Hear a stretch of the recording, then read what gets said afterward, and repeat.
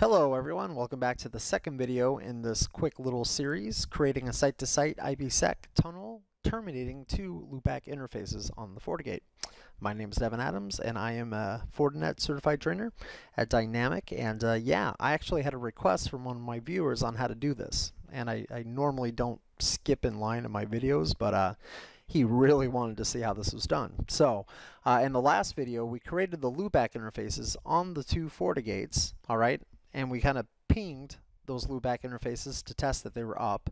Uh, but what KC wanted to do is is make those loopbacks the endpoint of a, a VPN tunnel using IPsec. Now, I personally don't know when you'd want this, but uh, it's definitely possible.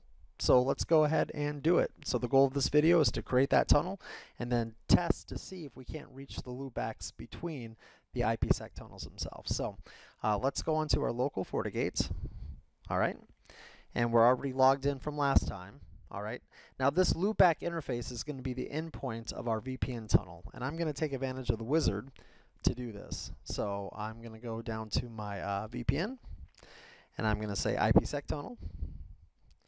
Then I'm going to say create new.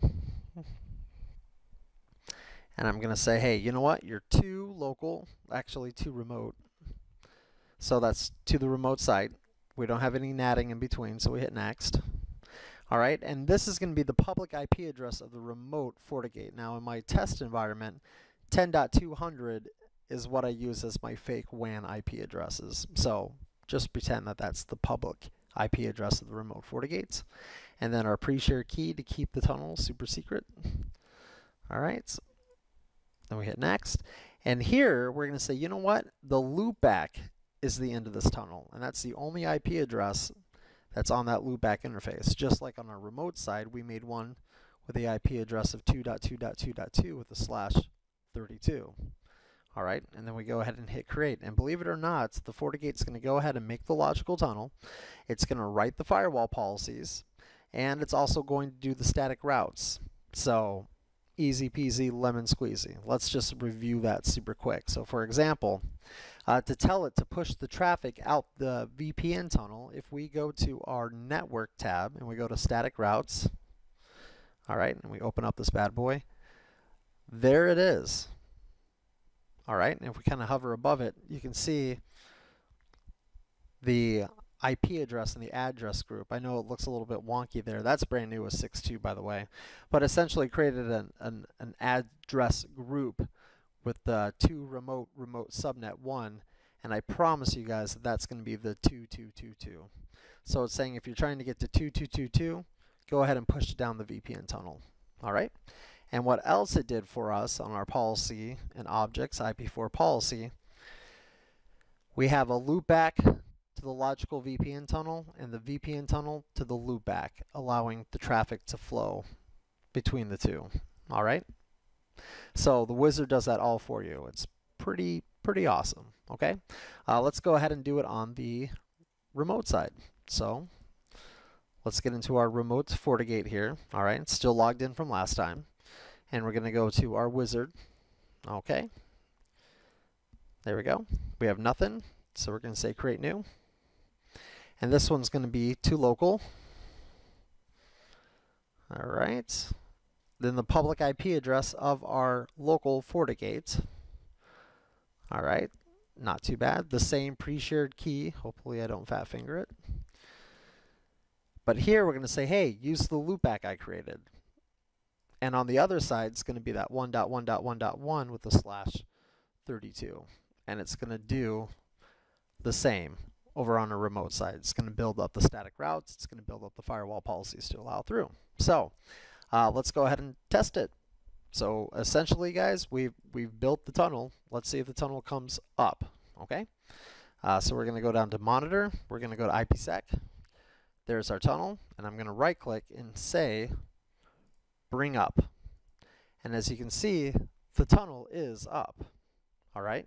So now if you try to do anything from here to test it, because we did allow ping access through the loopback and we tested it, but if we just open up the console and from our FortiGate try to ping 1.1.1.1, I promise you it's not going to work. Oops, maybe because I didn't put execute. Dart to dart. Okay? It's not going to work. And the reason why is because it uses the interface that you're on right now as the source interface of the FortiGate. So in other words, guys, it thinks that it's coming from a 10.0.2 network. Well, we didn't have a firewall rule for that. We only did through the loopback. So we have to set our our ping option to our loopback interface. And I'll show you how to do that right now to test it. All right, maybe. Get out of here. As I just closed the whole bloody thing by accident. Let me let me load that back up. Sorry guys. Or did I just kill it permanently for good? I'll do it on this side. I don't know why my Docker there crashed. That was a GNS thing. That was not a a FortiGate thing. So, and it looks like that one's, oh, it's just my computer being super slow, guys. It was wigging out on me. All right. Yeah, cute. Yeah, I know. Yeah. All right. Thanks for embarrassing me, computer. All right, here we go. We'll just be back on the remote side. So we'll do an execute ping options, and let me do a question mark here. And as you can see, the source is going to be the source interface that we're logged in from. So here it thinks that it's port 3 because we're 10.0.2 coming in from there. So, but instead I'm going to say ping options source, and I'm going to say that it's coming from the source of 2.2.2.2. All right. Now when I do an execute ping, and I do 1.1.1.1, as you can see, it identifies with the loopback interface as it does that ping, and therefore the ping is successful. All right, so when you're testing this, just remember you have to identify yourself from coming from the interface of the loopback, or it's just simply not going to have the firewall policy to, to work. So um, here's another example too. Let's go ahead and do it on the local side, just for completeness. All right. All right, so the tunnel is up, but the only way for us to come from uh, a loopback is from the FortiGate itself. So here we go. All right, and so I'm going to do an execute ping options source, and I'm going to say like I'm coming from 1.1.1.1. So now it's going to look up the firewall rules if I'm coming from the logical loopback interface when I do an execute ping 2.2.2.2. And as you guys can see, those are routable through the IPsec tunnel, and it is using the loopbacks to terminate both ends. Now, uh, cute. Now your computer will reboot. Get out of here. All right. So Casey, I hope that was helpful. I hope that's what you're looking for. Like I said, if you want to add in the comments field some applications for creating a loopback between a VPN tunnel, I'm pretty sure they're out there. I'm just ignorant in the fact of a, a really good example of why to do so. Um, let me know. But guys, that was it. We successfully created the loopback interfaces. We created a site-to-site -site VPN tunnel, and then we were able to ping the traffic once we set the source IP address. So. Alright, Stupid, I hope that was helpful, and I hope uh, that answered your question, and I'll see you guys next time. So, take care.